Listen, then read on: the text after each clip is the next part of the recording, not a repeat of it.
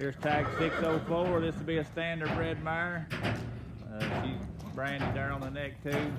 She's got some age on her. Got four shoes on. Look at her racking along. They've been driving this mare every day to the buggy. I'm sure it's probably the first time she's ever been rode.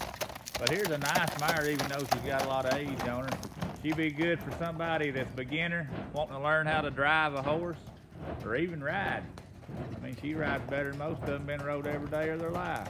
Natural gaited, paces on the top end. A nice standard bred mare, stands about 15-1. and she's still sound in her legs, as far as I can tell. She ain't taking no lame or stiff steps. Uh, pretty good old kind of horse right there. Price on her's 800, deadline's Monday.